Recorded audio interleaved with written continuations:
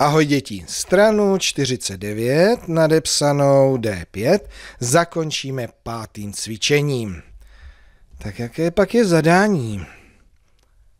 Spočítej a napiš. Počítat. No, ty příklady vypadají dost náročně, ale v předchozím čtvrtém cvičení jsme si připomněli takový fígl s dominovou kartou, že když máme příklad na sčítání 4 plus 14, že si to můžeme představit jako dominovou kartu, kde ty strany otočíme 14 plus 4 a uděláme z toho daleko jednodušší příklad. To máme 18. Takže 4 plus 14 rovná se 18. 2 plus 17 jakým příkladem si pomůžeme. Tak a nestyďte se to otočit na papír. Někde si to třeba napište, ať to vidíte.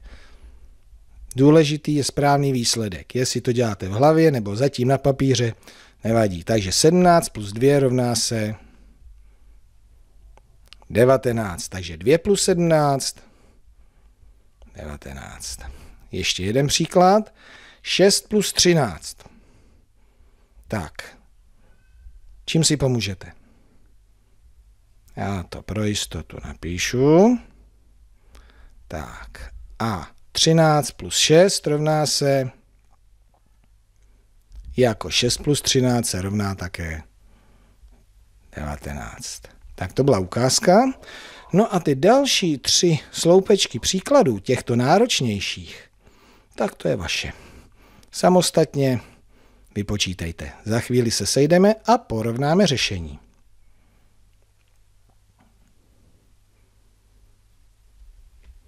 Tak. 1 plus 18. Čím jste si pomohli? 18 plus 1, 19. 5 plus 14. Pomohli jste si příkladem 14 plus 5. Takže taky 19. 1 plus 19, pomohli jste si příkladem, 19 plus 1, to je jasné, 20. Tak a už jenom výsledky. 2 plus 15, slyším 17, 7 plus 11, slyším 18, 6 plus 12, také 18, hm. 3 plus 14, 17. 3 plus 17, a teď jsem zvědav. Aha, slyším 20. 2 plus 16, 18. Tak vždycky se podíváme na řešení.